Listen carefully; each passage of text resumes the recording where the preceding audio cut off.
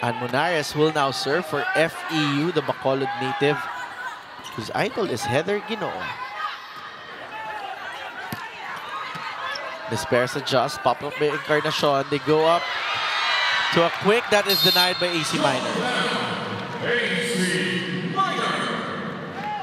Oh, but Panangin there wasn't convincing enough with her approach. Two blockers in front of Fernandez. Two tall blockers in Faith Nispero. Grabe din ginawa ni Despair sa din Miner eh. The double block, they really left the right, the left side already. Exactly.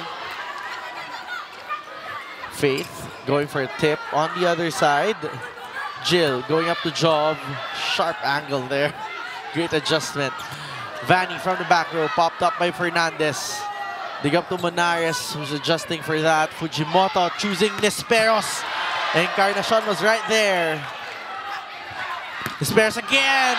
Straight to Monares' hands. Monares from the back row. Doromal was there. Faith now will adjust. She is denied and that ball goes out. Oh, that was three rallies and three transitions for fitness Nisperos and slowing down that ball in, la in that last rally. But that's a great tidbit there coming uh, from Julia Vargas. And I love the confidence of Julia. Ha? Four-setter na lang daw.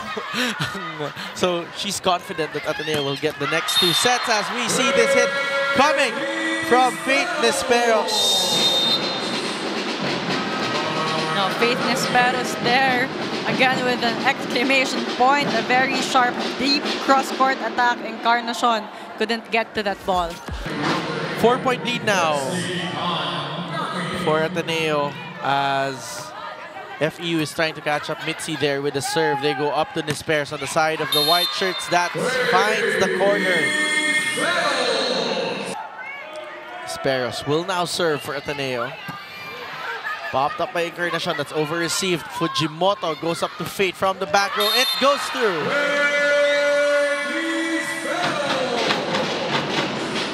Now, Faith Nisperos already with nine points. Contributing from the back row this time, maximizing the space between the blockers.